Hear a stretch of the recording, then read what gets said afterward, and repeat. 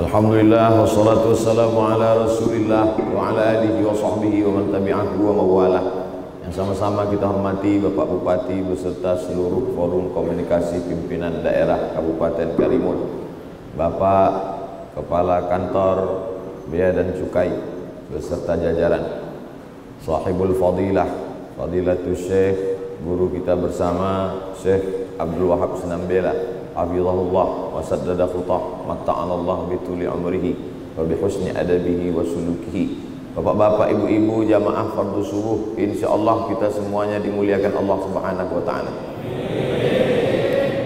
Rabbi syrah li sadri, mudahkanlah urusanku, lapangkanlah dadaku, wa yassir li amri, mudahkan urusanku. Wahlul 'uqdatan lisani. Kata wahlul ha lam lam. Itulah asal muasal kata halal. Ha lam lam halal. Wahlul uqdatan lepaskanlah ikatan. Kalau ada sesuatu yang tersimpul mati sulit jelimet ribet payah mengganjal di pikiran kalau kita mau dia lepas wahlul kalau ada orang yang bicaranya tak lancar payah supaya dia lancar wahlul. Itulah asal kata halal. Makanya makanan yang halal itu kalau kita makan kita makannya plong. Lepas tak ada terasa mengganjal. Tapi kalau ragu kita pas kita tengok di mangkok eh hitam. Ini macam-macam sup kelelawar. Mengganjal di dalam pikiran. Itulah asal muasal kata halal Jangan nanti kita ditanya anak kita, ya ya ya, ini adalah label halal nih. Iya. Apanya arti halal nih? Entah dari zaman atuk kau dulu dah, dah halal. Terus aku tanya, tanya lagi. Banyak-banyak tanya itu haram. Jadi itu ditanya lagi, ya haram itu apa artinya? Nah, inilah Bani Israel. Haram diambil dari kata hormatun. Sudah jadi bahasa Indonesia. Hormatun yang terhormat yang terhormat Bapak Bupati, yang terhormat Tuan Guru, yang terhormat Al-Masjidil Haram, masjid yang terhormat, tanah haram, tanah yang terhormat, bulan haram, bulan yang terhormat, dimuliakan, diagungkan, dimuliakan. Masjidil Haram, masjid terhormat, tanah haram, tanah terhormat, bulan haram, bulan terhormat, tua haram, tua terhormat, zina haram, zina terhormat. Apa maknanya? Haram kalau dilakukan menghilangkan kehormatan. Ada seorang tokoh masyarakat dimuliakan, diagungkan, dicium tangannya, dihormati orang. Begitu besok ketahuan pakai sabu, hmm, hilang kehormatan, hilang martabat. Bukan cuma martabat hilang, martabat pun hilang. Kira-kira udah jelas arti halal dan haram? Halal plong lepas tak ada haram menghilangkan kehormatan. Ini dulu pokok masalah yang mau dijelaskan. Karena judul kajian kita subuh ini halal lifestyle. Wah, hebatlah judulnya ini. halal bisa saya jelaskan tapi lifestyle ini agak payah sedikit awak makan sambal belacan? Sudah menjelaskan lifestyle. Life artinya hidup Style artinya gaya. Lifestyle gaya hidup. Halal lifestyle bagaimana gaya hidup orang itu berdasarkan pada halal. Jadi halal tidak hanya pada makanan tapi pada gaya hidup ipolexos but hankam dari mulai ideologi, politik, sosial, budaya, pertahanan, makanan, pakaian, pandangan, hotel, tempat tinggal semuanya mesti ha halal. Abang sedang di mana nih bang? Kata suami, kata istri bapak. Waktu bapak pergi keluar kota. Abang sedang di mana bang? Sedang di hotel. Hotel mana? Hotel halal. Tenang hati dia kan. Abang sedang di mana? Di Jakarta. Di mana abang tinggal? Apa hotel dulu yang ditutup dulu? Hah? Banyak juga yang ingat.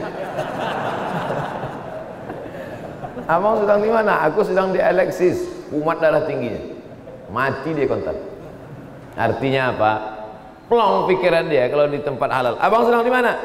Di Tanjung Balai Karimun, di hotel halal. Iya, tenang. Lama-lama pikir ya, ada tak hotel halal di Tanjung Karim?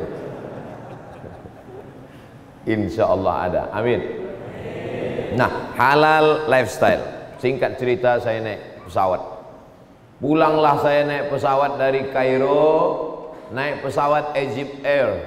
Egypt Mesir, Air udara, Egypt Air pesawat udara Mesir dari Kairo menuju Bangkok. Hebat. Kenapa Ustaz naik Egypt Air? Itulah tiket pesawat hadiah dari Azhar. Tak ada duit beli tiket pesawat. Dikasih hadiah dari Al Azhar Mesir. Sampai di Bangkok berhenti transit 6 jam. Tidur dikasih hotel. Dari Bangkok naik pesawat lagi ke Kuala Lumpur. Dari Bangkok ke Kuala Lumpur datanglah pramugari Thai Airlines. Thai bumi Thai, land tanah, Thailand tanah Thai. Orang kita tidak menyebutnya Thai, tapi menyebutnya Siam. Makanya ada kalau ada ikan yang agak seram disebut ikan Siam. Kalau ayam yang suka belaga disebut ayam Siam. Kampak kalau dipakai untuk berperang disebut kampak Siam. Karena negeri Siam ini bawaannya mau berkelahi. Thai boxing, itu dari Siam. Orang barat tidak menyebutnya Siam, Siam gitu dia. Sama macam nama saya, di Arab disebut Somat, kalau di barat Somaj.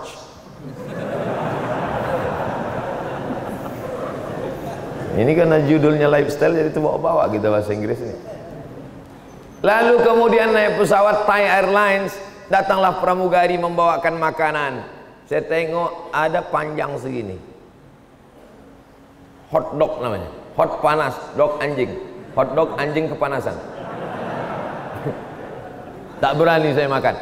Saya tahankanlah lapar dari Bangkok ke Kuala Lumpur tak makan karena tak ada label jaminan halal. Ragu hati saya. Tak tenang pikiran saya. Mengganjal otak saya. Lebih baik otak mengganjal daripada perut tak berganjal. Daripada saya makan Arab itu kejadiannya tahun berapa? Pulang dari Mesir tahun 2002 hari berganti musim berubah. Tahun 2019 saya berangkat sekali lagi dari Kuala Lumpur ke Bangkok dari Bangkok balik ke Kuala Lumpur. Naik pesawat yang sama. Thai Airlines. Apa yang terjadi? Sudah ada di piringnya itu label halal food. Halal halal. Food pakai dal. Makanan. Kalau pakai ta foods kaki. Foods ball bola sepak. 2002 Thai Airlines belum pakai label halal. Tapi 2019 setelah berlalu 17 tahun lamanya pesawat yang sama, negara yang sama sudah pakai halal. Why? Mengapa? Mengapa terjadi perubahan? Karena orang Thailand cerdas. Dia tahu bahwa yang naik pesawat dari Malaysia ke Thailand, Malaysia ke Bangkok, kebanyakan orang is orang Islam. Dia ikuti dia tidak masuk Islam, tapi gaya orang Islam dia ikuti. Begitulah cerdasnya kita. Sebaliknya pula orang kita mengamuk-ngamuk menengok rumah makan ada halal. Apa ini? Diskriminatif, tidak Pancasilais. Eh, goblok. Yang datang jadi wisatawan ke tempat kalian itu kan orang Islam. Orang Islam itu kalau makan dia mau makanan yang halal. Oleh sebab itu walaupun kalian tidak Islam, buat saja hotel kalian tuh hotel halal, makanan restorannya halal. Insya Allah wisatawan-wisatawan yang kaya-kaya dari Arab itu pasti akan datang. Kenapa? Karena mereka mau makanan yang ha halal. Orang Thailand cerdas. Orang Thailand itu cerdas luar biasa. Di Pekanbaru Riau ada masjid namanya Masjid An-Nur. Kelilingnya pokok kurma, tak ada yang berbuah. Setelah diteliti, rupanya jantan semua. Orang orang baru tak ada yang tahu itu kenapa pokok kurma itu tak berbuah. Datanglah peneliti dari Thailand. Lagi-lagi cerita Thailand. Tidak Islam. Orang Bangkok. Namanya as pakar kurma.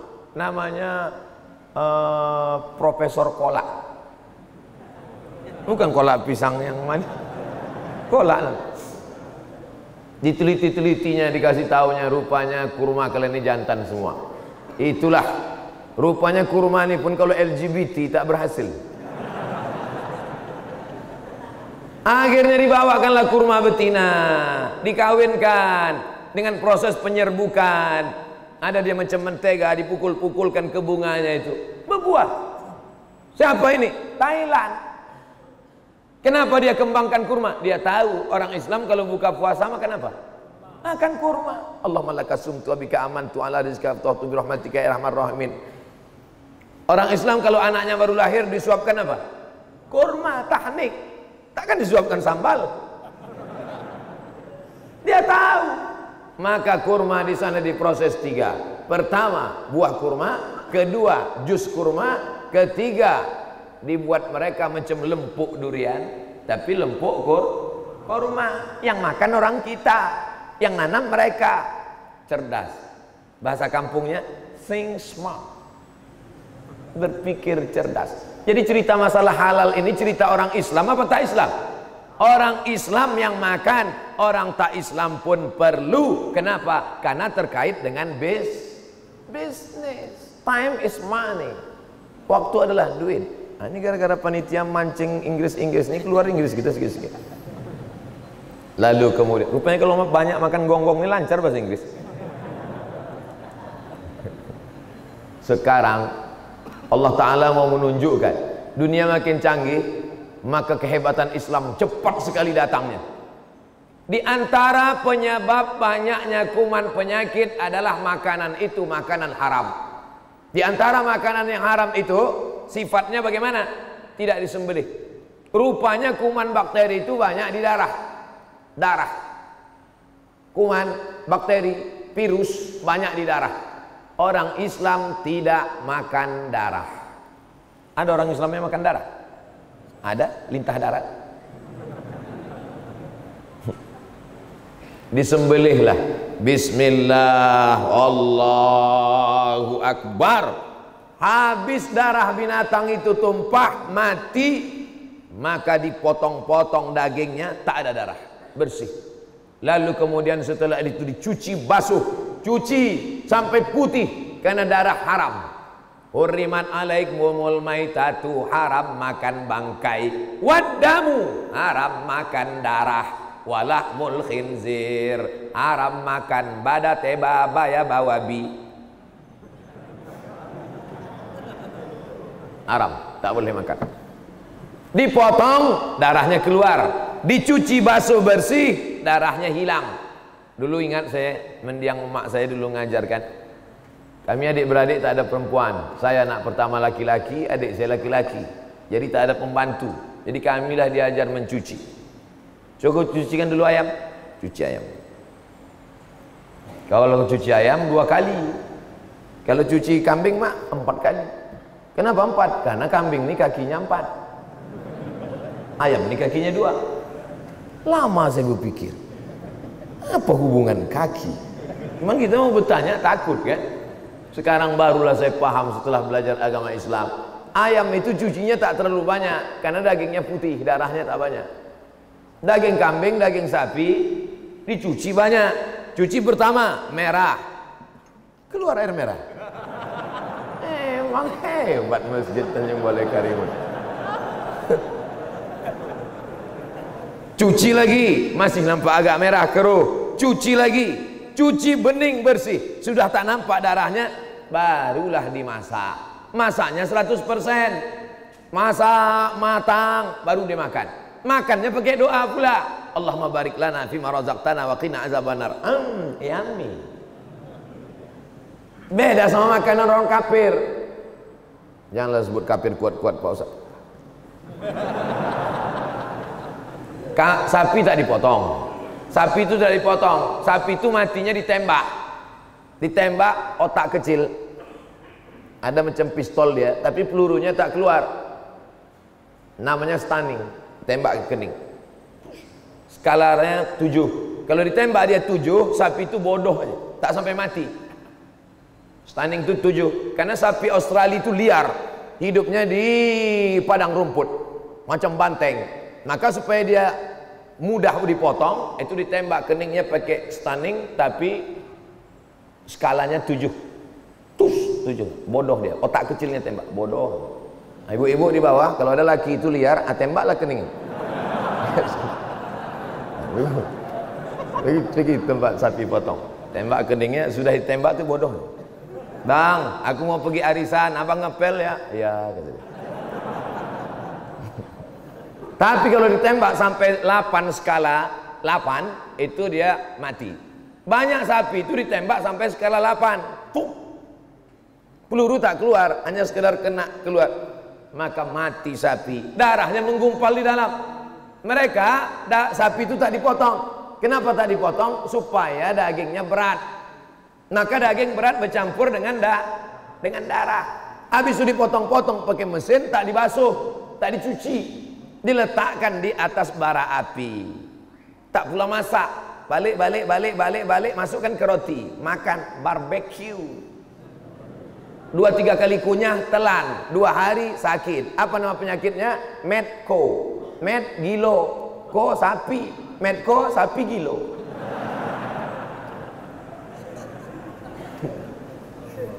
sapi itu halal apa haram halal sapi itu halal tapi karena sebab tak dipotong, tak dibasuh, tak dimasak menurut ajaran Islam, berubah dia jadi haram. Sedangkan yang halal aja bisa jadi haram, apalagi yang apalagi yang haram. Apa yang terjadi setelah datang virus corona? Apa yang terjadi? Rumah makan Islamic food di Singapura antrian panjang. Kenapa? Karena saudara-saudara kita yang ada di Singapura yang non muslim, yang tak Islam lebih percaya kepada makanan orang is Islam. Bicara makanan ini bukan bicara tentang masalah Islam saja.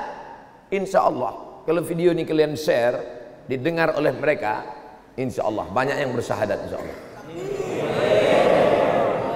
Pas ditengoknya penceramahnya Abdul Somad, ah tak jadilah. Ini Ustaz radikal nih katanya. Kalian terlalu temakan isu, Makan, jangan kalian makan isu. Yang dimakan itu bakwan. Baru cerita tentang makanan. Saya dikasih waktu 45 menit. Tadi saya mulai jam 6 kurang 20. Berarti saya harus selesai jam 6.25. Lewat dari itu kita masih banyak jadwal lagi. Ini Ustaz penting ini. Ah, sombong kali ya. Gitu baru saya kasih satu contoh makanan. Uriman alaikumul maitatu tak boleh makan bangkai. Wadamu darah walahmul khinzir daging babi. Kenapa babi tak boleh? Kalau memang babi tak boleh kenapa diciptakan Allah SWT? Ini orang yang ngomong gini otaknya sungsang. Kata dia semua yang diciptakan Allah ini baik sama macam guru di sekolah siapakah presiden Amerika A. Hashimoto B. Abdul Somad C. Obama D. Jawaban yang benar satu apa tiga? Satu. Yang salah berapa? Tiga. Kenapa dikasihnya ada salah ada benar? Untuk ngetes murid supaya tahu mana yang pandai, mana yang bo blok. Itu gunanya. Begitu juga Allah kasih.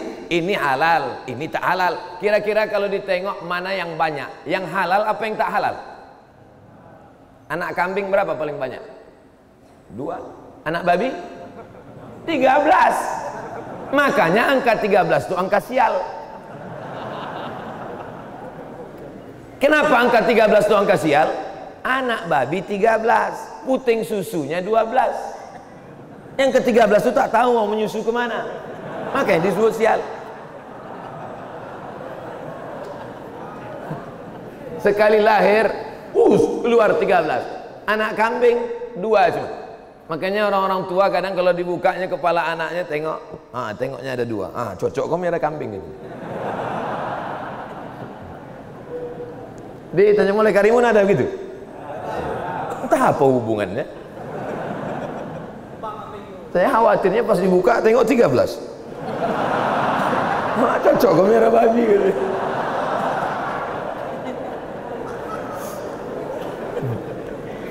Saya bawa ceramah subuh ini ketawa-ketawa karena saya grogi depan tuan guru. Kalau saya serius bahan saya hilang. Sampai mana tadi? Sampai 13. 14. Itulah makanya kita disuruh mencari yang halal. Kenapa ada babi? Diciptakan Allah sebagai apa? Sebagai ujian supaya kita bisa tak menghindarkan ini. Diciptakan Allah ada yang halal, ada minuman yang haram, khamar. Supaya apa? Supaya kita memilih wa nafsi wa ma sawaha demi jiwa dan penciptaannya. Fa alhamaha fujuraha dikasih Allah yang haram-haram, wa taqwaha dikasih Allah yang halal-halal. Tinggal kau pilih. Ini khamar, haram. Ini teh manis, halal. Sekarang kau pilih. Pilih mana? Khamar, teh manis. Khamar, teh manis. Khamar, teh manis. Fa alhamaha fujuraha dikasih jalan haram, dikasih jalan halal. Qad aflaha man zakkaha. Beruntunglah orang yang memilih yang ha halal. Pilih yang halal. Bismillahirrahmanirrahim. Masya Allah. Manis-manis buah. Begitu kalau ngasih air minum teh Ustaz, jangan manis sekali. Nanti Ustaz itu tak sampai umurnya panjang, kena diabetes meletus. Bapak Ibu jamaah sekalian yang dimuliakan Allah Subhanahu wa taala. Selesai bab masalah makanan. Abdul Somad hanya bisa menjelaskan ilmu ini 0,01 persen. Masalah babi tadi tak selesai Pak Ustadz. Balik cerita babi lagi. Datanglah orang kepada Syekh Muhammad Abduh. Syekh Muhammad Abduh, ya, kenapa babi haram? Kenapa babi haram Syekh Muhammad Abduh? Kata Syekh Muhammad Abduh, tolong kau ambil ayam jantan dua ekor, ayam betina satu ekor. Apa hubungan ayam sama babi? Ambil aja lah. Diambillah ayam jantan dua ekor. Diambil ayam betina satu ekor, dimasukkan dalam satu kandang. Belaga ayam jantan ini sampai tetes darah penghabisan. Apa kata ayam ini? Lebih baik putih mata daripada putih tulang. Itu saya terjemahkan. Belaga ayam jantan sama ayam jantan untuk merebutkan ayam betina. Di sebelah kandang dimasukkan pula dua babi jantan dengan satu babi betina. Tak ada orang tubuh kelahi, digarapnya berdua. Ternyata babi tak ada rasa cembu. Oke, jangan banyak makan. Pengaruh makanan banyak berpengaruh terhadap sifat. Banyak terpengaruh terhadap sifat. Dulu ada guru saya waktu masih sekolah di Madrasah Muallimin Al-Wasliyah Medan. Ingat betul saya penjelasannya, udah meninggal namanya Ustadz Hafiz Yazid sahabat dari Al Mukarram Tuan Guru Syekh Abdul Wahab Senambela di Mustafawiyah Purba. Apa kata dia? Murid-murid sekalian ya Tuan Guru jangan kalian makan anjing. Eh kenapa gitu? Karena berpengaruh makanan ini terhadap sifat. Kenapa gitu? Kita kalau di klekson ten ten Kambing jual klekson kambing. Ten ten, pasti lari kan? Kalau anjing enggak, ten ten, nengok dia ke belakang.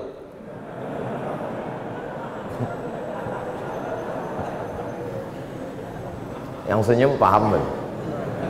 Nanti sebelum mengupload di YouTube kalian buang ini ya. ya. Tidak nanti dilaporkan saya lagi. Laporan yang lama aja belum dicabut.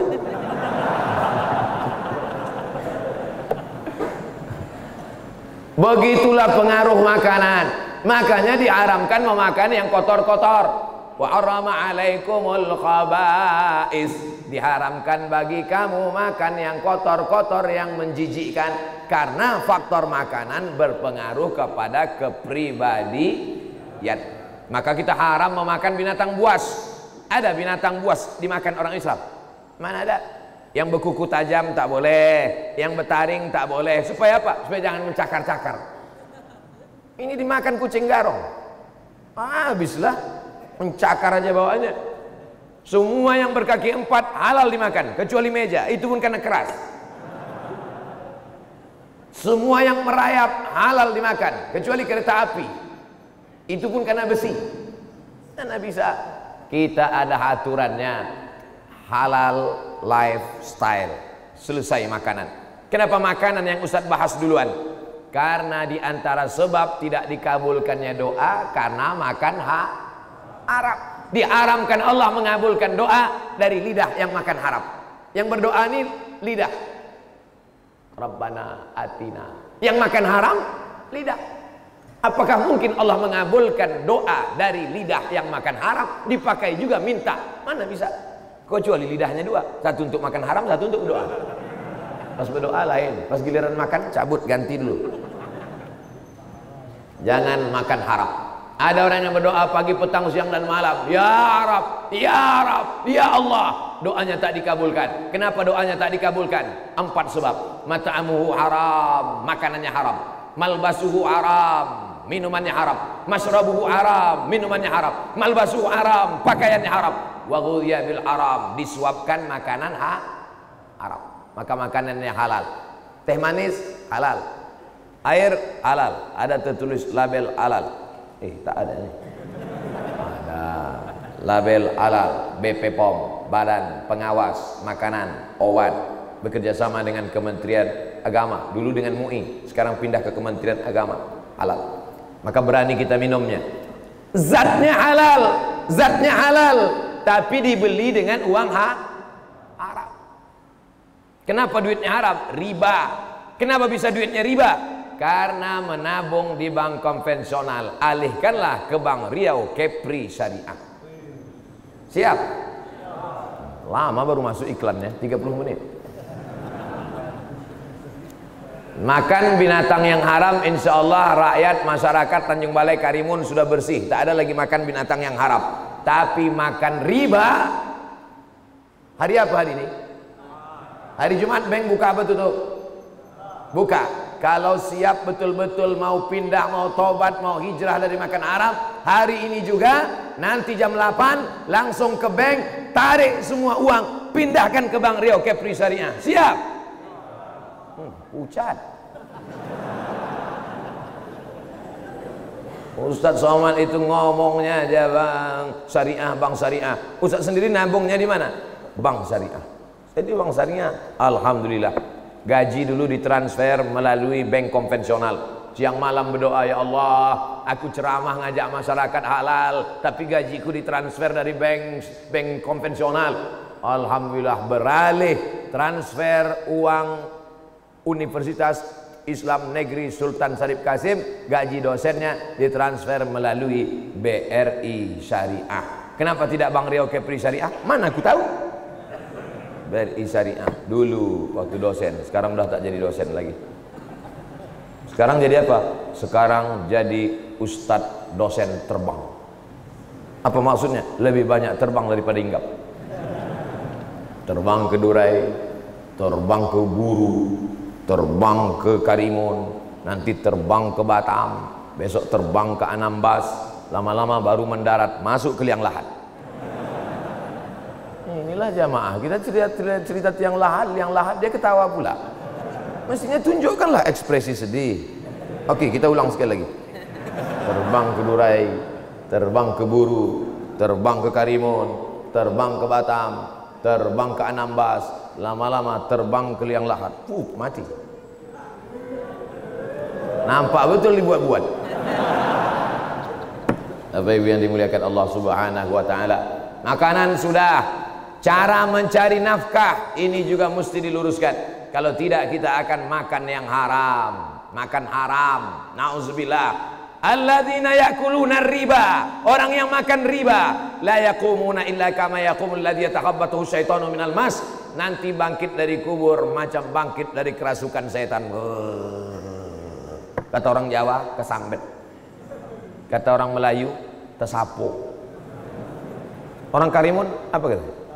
Terus tersapu juga. Tak siapa yang menyapu? Disapu hantu. Ah, oleh sebab itu nanti nampaklah di akhirat bangkit dari kubur macam orang kerasukan setan. Gara-gara apa? Gara-gara makan riba. Anak kecil otaknya masih terang, hatinya masih bersih, kotor, gelap otaknya, gelap hatinya, tak dapat baca Quran. Gara-gara apa? Gara-gara orang tuanya mengasih makan hak haram. Kalau Ustaz menceramahi bapak-bapak, jangan kasih anak bini makan haram, jangan kasih anak bini makan subhat, jangan kasih makan anak Arab. Ustaz Somad, Mencari yang haram aja payah, apalagi yang halal. Ada orang-orang ngomong begini, ini orang begini ini la haula wala quwata illa billah. Mudah-mudahan dikasih Allah hidayah ke dalam hatinya insyaallah.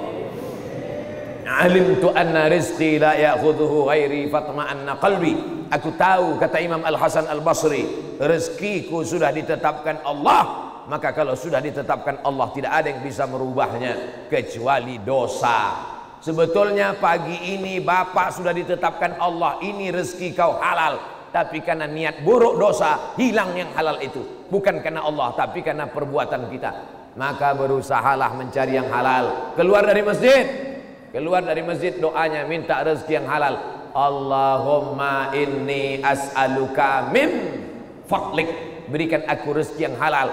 Bismillahi tawakkaltu ala Allah. La haula wala quwata illa billahil aliyil azim. Makanan halal sudah. Makanan halal yang kedua materinya halal cara mencarinya halal jauh dari riba sudah. Yang ketiga pakaian halal Alhamdulillah bapak-bapak semuanya selamat. Yang pakai jubah selamat. Yang pakai celana panjang selamat. Sekarang ada orang pakai pakaian yang tak halal. Nampak lutut berkurap berkudis. Ini pun tak halal nampaknya Oleh sebab itu maka kita jaga ini. Insya Allah tinggal di tepi pantai dekat laut pakai celana pendek duduk di warung kopi enjoy santai nikmati hari-harimu. Betul. Tapi dalam mazhab syafi'i aurat bainas surrati warukbah dari pusat sampai ke lutut. Lutut ditutup. Dari pusat sampai ke lutut itu maksudnya dari pusat ke lutut ditutup. Banyak juga orang sekarang pusat ditutup lutut ditutup. Yang lain terbuka. Adapun perempuan yang ketiga tentang pakaian halal. Perempuan memakai pakaian halal ya ayyuhan nabi. Wahai nabi Muhammad sallallahu alaihi wasallam, qul li azwajika katakan kepada istrimu wa banatika anak perempuanmu wa nisa'il mu'minin sampaikan kepada perempuan yang beriman yudnina alaihinna min jalabibihinna hendaklah mereka memanjangkan pakaiannya dulu orang musyrik perempuan jahiliyah kepalanya tertutup lehernya terbuka kepalanya tertutup betisnya terbuka. Maka disuruh turunkan. Turunkan jilbab sampai ke leher. Turunkan jilbab kain panjang sampai ke betis. Yang nampak hanya dua. Illa haza wajah wahaza tapak tangan. Bapak akan ditanya di akhirat tentang aurat. Anak perempuan bapak adik perempuan bapak kakak perempuan bapak. Perempuan dia punya wali enam orang abang perempuan punya wali enam orang ayah tak ada ayah atuk tak ada atuk abang tak ada abang adik laki-laki tak ada abang ayah adik ayah enam bapak pula menjaga perempuan istri perempuan. Orang Karimun istri perempuan. Di tempat lain sekarang lagi style laki-laki. LGBT namanya. Istri perempuan, anak perempuan, adik perempuan, kakak perempuan, keponakan perempuan. Itu perempuan-perempuan yang kita walikan, maka kita bertanggung jawab di dunia di akhirat. Orang yang tak ada rasa cemburu maka dia termasuk penghuni neraka jahanam. Anak gadisnya pakai celana pendek, pakai celana sempit, cuek aja dia. Cantik anak gadisnya. Ayolah, mau kau ambil ambil, ambil, ambil, ambil, ambil. Mana rasa cemburumu? Mana rasa takutmu? Mana rasa khawatirmu? Oleh sebab itu maka ini tanggung jawab kita bersama. Kalau tidak maka akan turun azab Allah Subhanahu wa taala. La ta'murun nabil ma'ruf, ajak orang berbuat baik, wala tanhauna 'anil munkar, larang orang dari perbuatan munkar. Kalau kamu tidak melakukan itu la yusikanna ayyab'afallahu alaikum iqaban. Akan diturunkan Allah hukuman. Akan didatangkan Allah azab ketika azab itu datang kamu pun berdoa ya rab fala yustajabu lakum doa tak dikabulkan karena tidak ada amar ma'ruf nahi munkar makanan halal sudah makanannya halal cara mencarinya halal sudah pakaiannya halal sudah hotelnya halal Hotel syariah perlu. Hai bapak-bapak yang kaya-kaya, investor-investor, buat hotel halal. Kadang kita malu sendiri. Ustadz tinggal di hotel, naik lift, bukan di Karimun, tempat lain. Ini ceritanya tempat lain. Masuklah saya ke lift. Soalnya saya di Karimun tak ada naik lift, tadi naik tangga biasa. Ini menunjukkan ceritanya tempat lain. Saya termasuk ustadz yang tak pandai sindir menyindir. Saya to the point aja. Masuk sampai di lift, nampaklah orang di lift ini pakai pakaian yang belum selesai dijahit tukang jahit. Kita serba salah. Udah pakai peci, pakai koko, pakai sorban, nampak yang paksa lagi kita nunduk aja. Mau ditengok berdosa, tak ditengok awak mau nengok pintu. Serba salah kita. Tapi begitu tinggal di hotel syariah di Yogyakarta, di Yogyakarta itu ada satu hotel syariah. Di Solo, di Solo ada hotel syariah. Tenang kita, adem, ayam. Kenapa? Sebelum masuk ditanyanya dulu surat nikah mana. Kalau hotel tak syariah mana mau tahu dia? Mau kau bawa bini kawan, bini lawat. Bebas saja. Bukan pernah dia tanya surat nikah. Oleh sebab itu maka pentingnya halal. Judul subuh ini. Seumur umur hidup saya ceramah baru ini dikasih judul halal lifestyle. Emang hebat orang Tanjung Balai Karimun. Luar biasa judulnya. Isinya biasa-biasa aja. Hotel halal sudah. Apalagi yang penting halal? Yang penting lagi halal adalah halal dalam hal kehidupan sehari-hari. Banyak sekali kita bersentuhan dengan yang haram-haram. Masuk ke pasar, curang timbangan. Ada satu surat khusus untuk orang yang curang timbangan. Haram. Wailul lil mutaffifin. Celaka orang yang main-main timbangan. Alladzina idza talu 'alan nas yastawfun. Mereka kalau membeli dia minta penuh. Kalau dia membeli bukan main tajam biji matanya. Itu kurang, kurang, kurang. Tambah, tambah. Berat sedikit. Nanti kau di akhirat dituntut Allah Taala. Tapi kalau dia yang menjual pura-pura tak nampaknya. Nauzubillah. Bapak-bapak yang berdagang, yang berniaga, yang berdagang di pasar, yang berniaga, yang berbisnis, hati-hati masalah timbangan nih Pak. Bayangkan kalau satu hari curang satu on, yang belanja satu orang, yang belanja lima orang satuan satuan satuan satuan satuan setengah kilo satu bulan. Berapa itu? Banyak lah pokoknya. Memang kalau belum sarapan nih payah ngitung memang apa yang dimuliakan Allah subhanahu wa ta'ala? Gara-gara apa orang hantam kromo? Tak tahu lagi mana halal mana haram mana putih mana hitam mana bengkok mana lurus. Hantam kromo riba sudah bantai saja. Tak tahu dia lagi mana halal mana haram. Gara-gara hawa nafsu. Ingin kaya cepat ingin cepat kaya. Akhirnya segala cara ditempuh. Sudah curang timbangan tak juga kaya. Sudah dibantai yang haram tak juga kaya. Daging kambing dicampur daging anjing daging babi tak juga kaya. Akhirnya paksa miara tuyul. Piara tuyul. Tak juga kaya. Karena tuyul tak sanggup memikul banyak-banyak. Akhirnya dicari hantu yang agak tinggi sedikit namanya begu ganjang. Apa yang mau dicari hidup ini? Sementara kita mencari hidup ini, ilahi anta maqsudi wa ridhaka matlubi. Yang dicari ridho Allah Subhanahu wa taala. Insyaallah kita jaga yang halal-halal, makanan kita halal, pakaian anak menantu kita halal, cara mencari nafkah juga halal, hotelnya juga halal, kehidupannya juga halal, politiknya halal. Apa yang dimaksud dengan politik halal? Pilihlah wakil-wakil rakyat yang peduli kepada APBD. Ada sebagian APBD itu dipakai untuk tunjangan kepada penggali kubur. Ada APBD itu dipakai untuk guru MDA. Ada APBD itu dipakai untuk insentif para ustadz-ustadz yang masuk ke pedalaman membawakan dakwah Islam ke pulau-pulau. Setuju apa tak setuju? Pilih pemimpin yang peduli kepada solat berjamaah, yang peduli kepada anak-anak muda. Alhamdulillah, subuh ini dari hotel ke masjid saya dijemput anak-anak muda. Kalau yang jemput orang tua pakai mobil, kalau anak muda menjemput pakai motor. Tertulis di belakang, biker subuhan. Saya sebetulnya dijemput anak muda ini trauma. Karena dulu pernah dijemputnya tak sampai-sampai. Sampai di tempat ceramah beku ujung jadi. Jadi saya trauma, rupanya mereka tahu. Ah katanya, Ustaz tak apalah jauh kali kata. Oh tahu juga kalian rupanya. Wah kailah tadi motor. Tahap mereknya? Macam mesin pompong bangga kita dijemput anak-anak muda ini nanti diupload di internet ditanya orang itu di mana Pak Ustadz Tanjung Balai Karimun Anak-anak Karimun tuh sholat subuhnya Pak Ustaz. Mantap. Kalian kalau mau cari menantu datang ke Tanjung Balai Karimun. Hmm, udah kupasarkan tak laku juga entahlah.